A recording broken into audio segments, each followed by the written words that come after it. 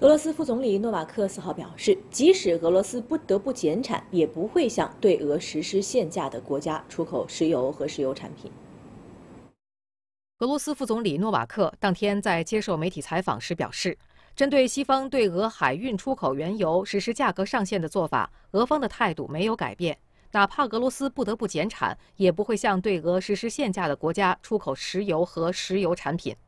他还指责西方的这一做法是野蛮干涉市场，违背了世贸组织制定的所有规则。他表示，俄罗斯正在制定反制措施，因为西方的限价会进一步危害全球能源市场稳定。诺瓦克十一月底表示，俄将采取两手反制措施：一是调整俄能源出口方向，二是减产。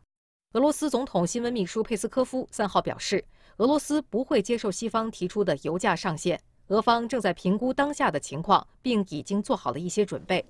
俄罗斯将继续为其原油寻找买家。俄罗斯国家杜马，也就是议会下院国际事务委员会副主席阿列克谢切帕三号表示，俄罗斯只会以对其有利的条件出售石油。七国集团的操纵将导致全球油价上涨，而美国是这一切的幕后推手，也是最大的受益者。另有多名俄方官员警告称，对俄罗斯能源实施限价将引发石油需求激增、供应链中断以及全球燃料价格飞速上涨，也会危害欧盟自身能源安全。俄罗斯是仅次于美国和沙特的第三大原油生产国，负责供应全球约百分之十点五的原油需求。目前，俄罗斯日均产量为一千一百万桶，其中原油每日出口量约为五百万桶，石油衍生品则为二百八十万桶。